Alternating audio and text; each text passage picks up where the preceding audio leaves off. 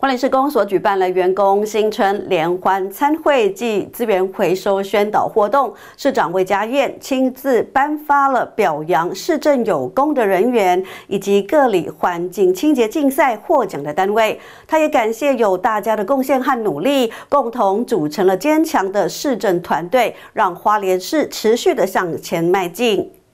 花莲市公所新春联欢会由幼儿园的老师们热舞开场，引爆现场的欢乐气氛。市长魏家燕也带领科室主管上台，向大家贺岁祝福，并勉励同仁们新的一年要继续努力，提升为民服务的效率。那今天真的非常的开心哦！我们昨天是我们市场所的尾牙，今天是我们公所的一个尾牙哦，真的很感谢大家过去一年来后，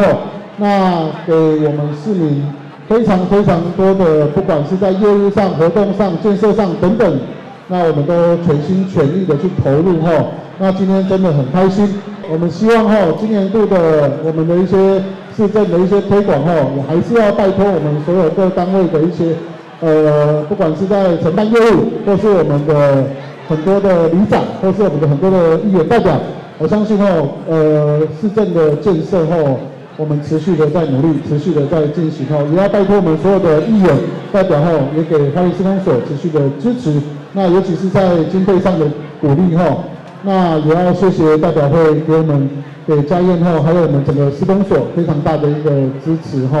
也希望说，今年我们持续拼，让市民过得更好的生活。市长魏家燕亲自颁发感谢状，表扬市政有功人员。获奖人员包括了市政咨询委员会、调解委员会，还有各个社区巡守队等，总共有四十九位。